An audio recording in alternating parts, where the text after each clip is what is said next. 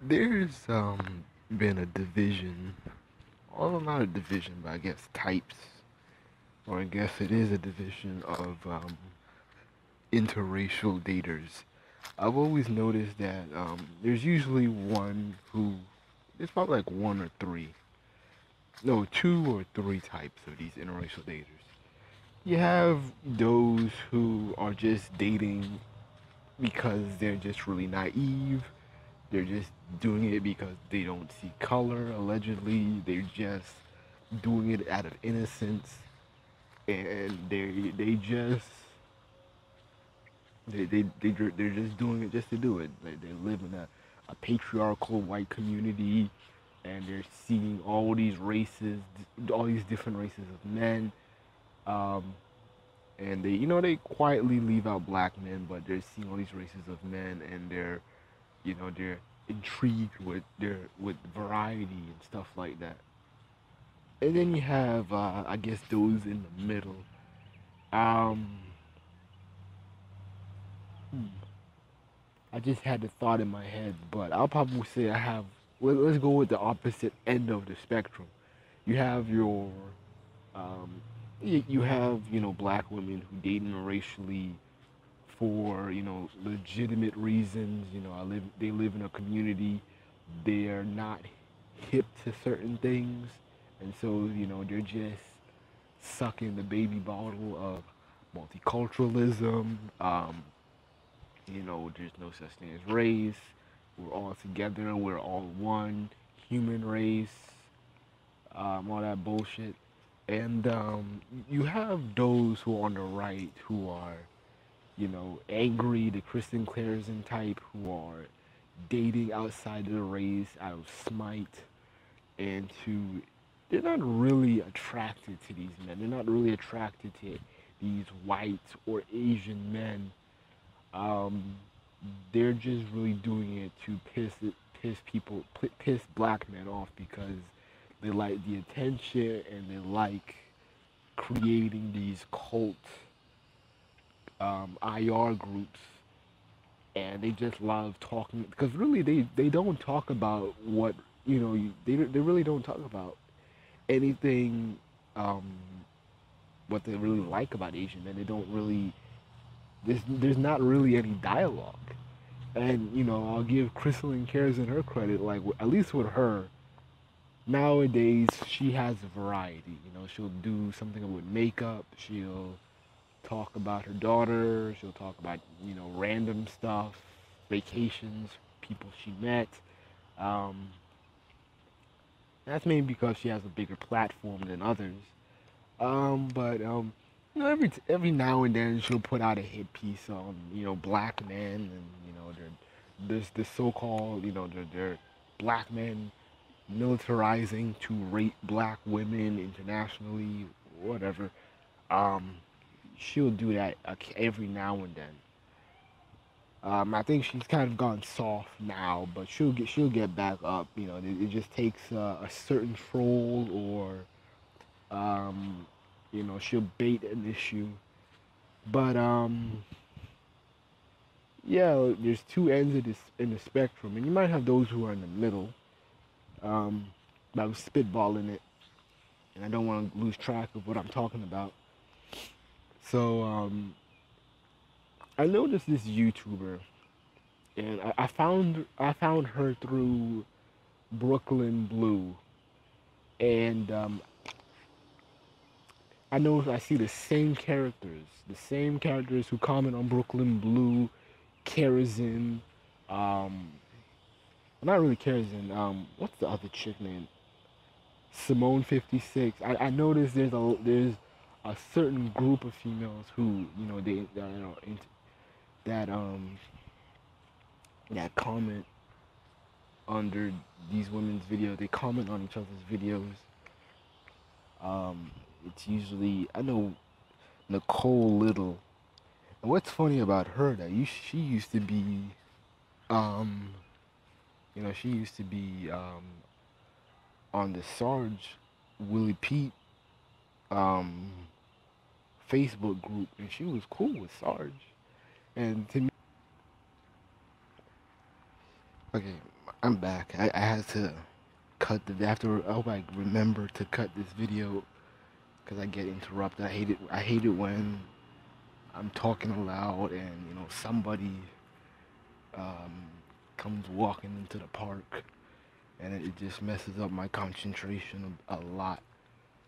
But um, and anyways, like I was saying, you know, I, I noticed these same group of females are you know, commenting in the group. I mean, are commenting on these on these girls on these uh, in their pages. You know, Nicole Little, you know, she was in Sergeant Willie Pete's um, page, and she was agreeing with him. She even made videos replicating his videos. You know, you know, she people used to say that she she directly copies him, and he just says the same thing. She's she copies what he says and now she's on the feminist bandwagon of inter of interracial dating. And it's like, you think you know people, man. You you really do think you know people.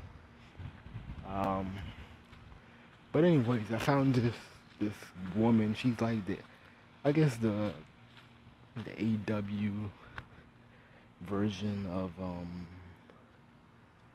Christelyn Karazin, and um,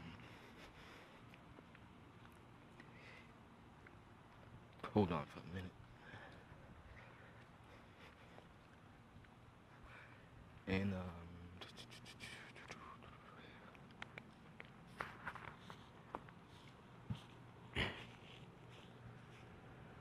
all right, like I was saying, um, you know, she she advocates for you know black women to get with um, with Asian men. And uh, I, I saw another video that she did where she was saying that she doesn't date she doesn't date white men. She doesn't really find them attractive and she's always find asian men attractive. And i'm not knocking that. If that's what she likes she likes that you know i'm not going to be on the, the, the so-called black pro-black troll trolling tip and be all angry because she ain't choosing us. I really don't care, but the thing is, I'm calling out her bullshit because it's not, it, it, you know, by the way she does her videos, you know, it, it may be genuine, but we, we can see the attack. You know, I, I can see that, you know, she's not really into Asian men. And the funny thing about it, I've seen other black women lost on YouTube over these Asian men, especially these Koreans. And these usually be the types who listen to the Korean pop, and they they uh, they do Korean pop um, um, reaction videos. And you know, I can at least give those women a pass and like say, okay, they generally have they, they generally like Asian men. You know, they're not making like what what differentiates the younger girl. I notice this with younger women or younger girls, usually teens and girls in their twenties, is that you know I can give the black women who like Asian men, who are in that age age that age range I mentioned before. You know, when you look at their profile, they're just talking about Asian. They're talking about you know what I like about them, who's my favorite Korean pop group, boy band, or whatever. When I look at the older women, who have uh, and it, it's, it's it's some, but um, it, it's always I always notice these angled IR dating um, you know, um, bloggers, just like this person. I forgot her name, but um, I'll I'll link her video. Um, and, and, and she was making these videos about why she liked Asian men, but it was like you're, you're making videos to piss off black men because you always have to reinstate it. Oh, the, the black men are going to attack me. Black men are not going to be trolling your page just to, um, just because you date outside your race. I can go on many black, interracial, black women dating IR, dating Asian men, and I can find um, YouTubers who have like 500 likes versus zero to two dislikes. And at least with those couples, it's genuine. But with a lot of these single women who date IR, they're they're baiting it. They're they're baiting it. They're baiting it to be um to to attack black men. And I got I got a little angry, not really, but I was like scratching my head like, nah, she got it all wrong. When she was saying that the reason why she's dating interracially is because of black men in social media. And I just wanted to cut that bullshit right there. I'm like, really stop. Stop it right there. You you making it seem like there's tons of Tommy Sotomayor's, there's tons of um making it seem like there's tons of Tommy Sotomayor's running around saying fuck black women. Uh, I, I'd rather shoot him. You know, granted, he does have a, an interesting following, but his following isn't that serious. I mean, you're not going to meet a black man in general who is like a die-hard fan. You know, despite the videos that Tommy posts about him meeting fans out the blue, a lot of niggas don't take him seriously, and a lot of niggas don't even listen to him like that.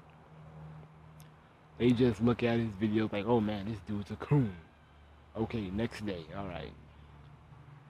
Like, like nobody takes, it, and that's a bullshit argument because even if you you, you subtract black men and you just look at black men who are on social media, subtracting those who are a part of MGTOW, conscious community, uh, the pro-blacks, the hoteps, you subtract those dudes and you look at regular social media that is um, empowered by regular black teens who just talk about girls, sex, money, and drugs all day, twerking, strippers. Um, they're not making videos, they're not talking bad about black women. They hardly talk about anything politics or anything about race. So they can miss me right there. I can look at my uh, Facebook. If my Facebook wasn't suspended, I can look at it and and you know, from the people that I go to school with, I rarely, I rarely to never see anybody talking bad about black women to the to the point where they're you know, black women are like discouraged, like, oh my God, he is so racist. I'm not gonna talk to him. I, I, I, I hate black men. I'll never date him. These are, you know, women like that YouTuber that I'm talking about. They're they're they're straw man arguments. It's straw man arguments.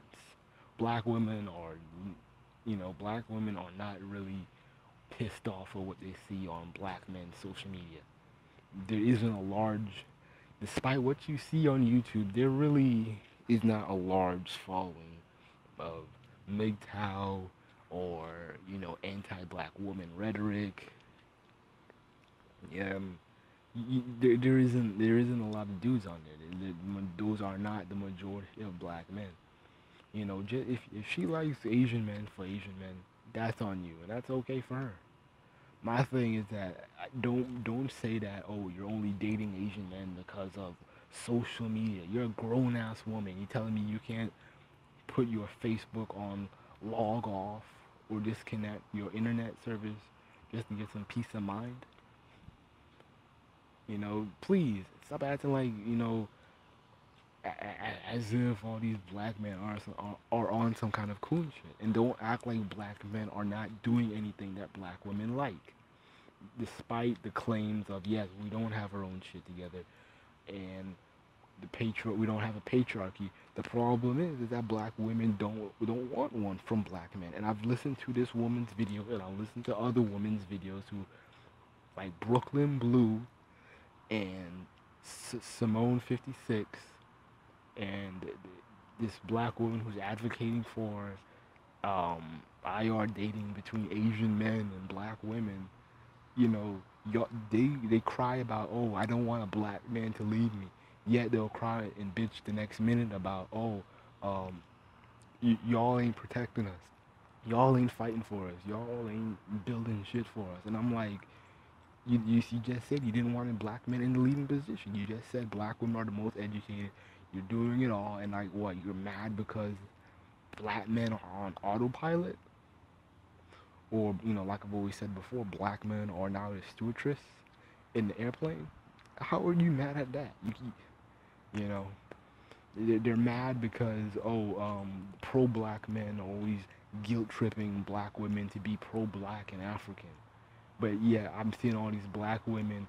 I just saw another black woman, and you know, I didn't really have an issue with her, and she's advocate. This is a different girl. She looks like she's a teenager or in her early 20s, and she's advocating. For, she's talking about why she likes um, Japanese and Chinese men. She talks about their culture. She likes their language. Okay, I'm not knocking that. You know, but you know, you, can't be. I don't see how you're mad when black men want a culture and they want to relive or reamp Afrocentricity or the African diaspora, but yet you, you, you bitch and moan about how misogynistic Africa was, but then you're gonna, but then again, you're worshiping Asian culture. I've took a, a course on Asian culture and Asian patriarchy and, and, and the, the Asian family structure. Back in the days, you know, Asian men didn't even let their women out the house. The, the life of an Asian woman in the Ming dynasty or whatever dynasty, probably the Ming dynasty, or, but even for, for many dynasties in the era of when Confucianism was the main religion practice, you know, the, the life of, uh, of an Asian wife was very boring. It was extremely boring. You were in the house, you cook, clean, your husband slapped you on the head every now and then, and that was it. You grow old, you grow miserable, you you're in pain because you bounded your feet. You, you know, and you, you you you condition your daughter and your granddaughter to be submissive to men and to kiss their every feet their feet before they enter the door. And it's like, but y'all ain't calling that misogynistic. Y'all ain't bitching and moaning about Asian culture. But but when you y'all look at Asian culture, Y'all just look at the anime. Y'all just look at the K-pop. Y'all look at the, the, the Japanese pop.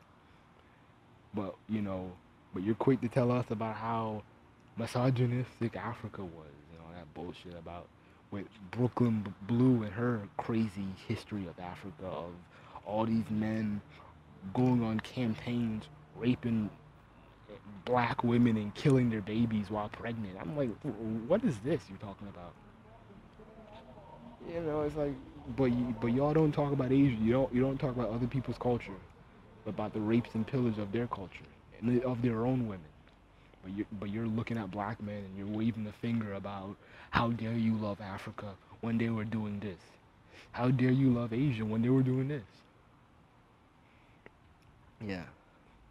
Do I need to show you videos of um of um of um Asian women being um, being shamed in public, and people are throwing things and eggshells at at her or whatever. Do I need to? And they're calling her a whore and all that stuff. Do I do? Y'all don't say y'all black women who cry misogynistic black man. Y'all don't say nothing about that. Y'all don't say nothing. And at least advocate for interracially on consistent terms. And stop putting black men in your mouth. Because a lot of these black women don't want black men in the in the uh, condition in the, the maximum. They don't want the best in their life black women do not want to see black men ahead or doing anything they just want to bitch and moan and, and have a simp dream of some um, of some light skin or caramel skin black man with good hair saving them from abuse of a dark skinned man or whatever. You know, y'all they don't have legitimate they don't really have legitimate beasts with us. With, with you know I mean they don't have legitimate reasons to even date outside of the race. That's what I meant. You know. I don't know how long I want to make this video because I, I, I really want people to watch the video, but um, you know, I, I at least have le, le, you know legitimate claims. You know, at least like the Asian dudes for whatever reason. But you know, don't don't do this whole um, back and forth thing to where it's like, um, fuck you Afrocentrics, but you know you you you're going out on uh, cosplay, and you don't say nothing about the Asian boys and the white boys catcalling you. So you know, or or them not wanting your black ass in the cosplay events because you're black. You know. You know, so you, you can miss me with a lot of that bullshit, you know. But I'm gonna I'm gonna make another video debunking um uh Breukelen Bleu in a minute.